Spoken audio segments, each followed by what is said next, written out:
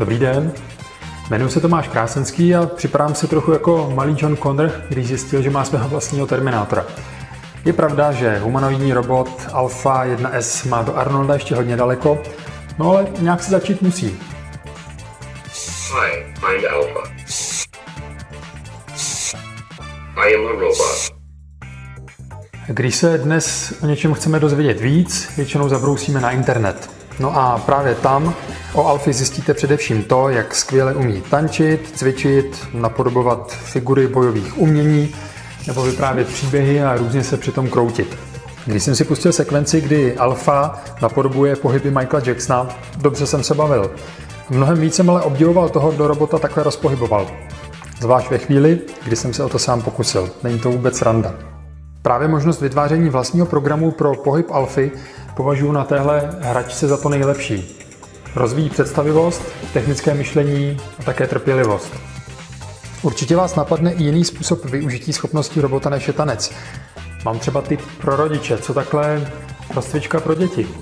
Pohyb pod taktovkou robota bude daleko zábavnější než pod vedením nějakého trapného rozpěláka. Alpha 1S má velký litiový akumulátor, který mu dovoluje fungovat až hodinu, pak ho musíte dát na zhruba stejně dlouhou dobu nabíjet. Jakmile se tedy stavová dioda změní z červené barvy na zelenou, znamená to, že baterie je plně nabitá. Můžeme tedy odpojit nabíječku a robota zapnout.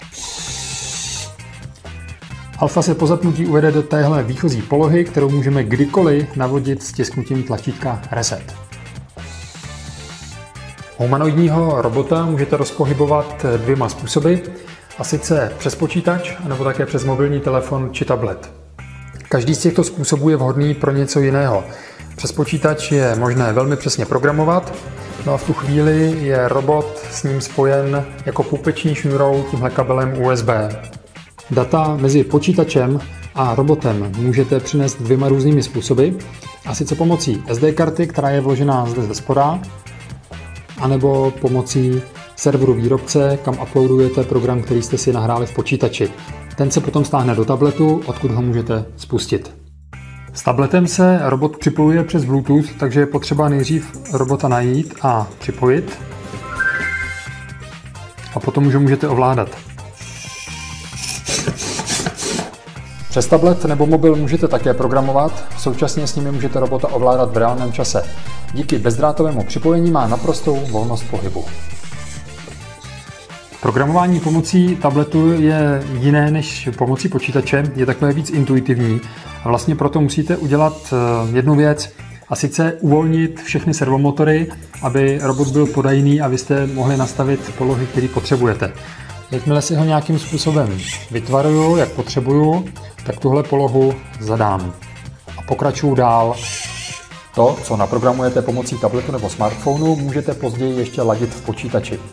Robot dělá pouze to, co naprogramujete. Nemá žádnou interakci se svým okolím. Proto je důležité každou akci začít z výchozí polohy. Robot Alpha má ruce tvarované tak, aby v nich mohl i něco držet, co třeba paličky na xylofon, triangle nebo dokonce na bicí.